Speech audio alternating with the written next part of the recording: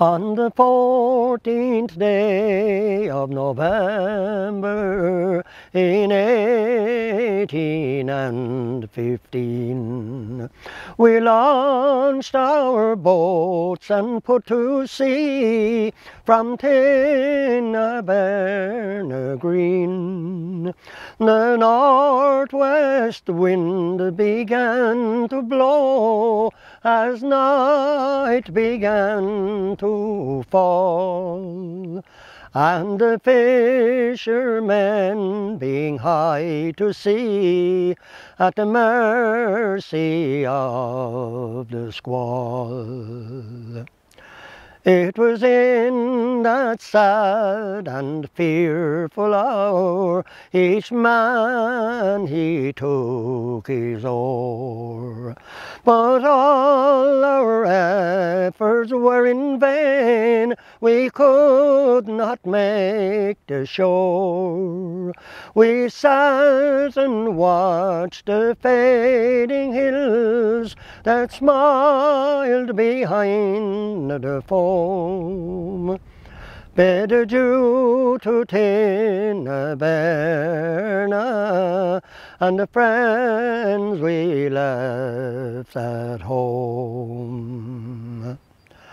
Our boats being small, well rigged with all, were unable far to sail. The time looks bad, so in the name of God, on our friends we must turn tail.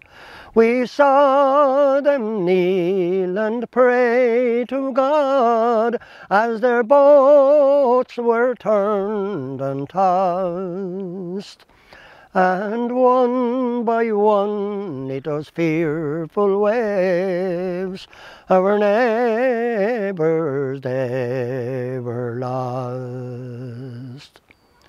Our skipper John watched the fleeting clouds that swept across the sky, saying, Boys, don't lose your courage until the moon will. The hours dragged by and the storm did die, our hopes returned anew. In the pale moonlight on that stormy night, Tinnaberna came into view.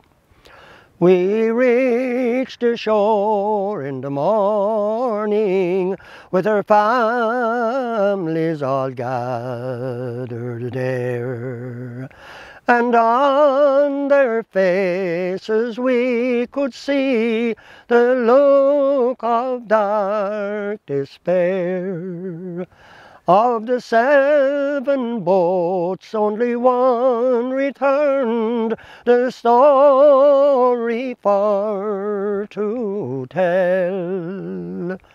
May they rest in peace, those fishermen, the ones we loved so well.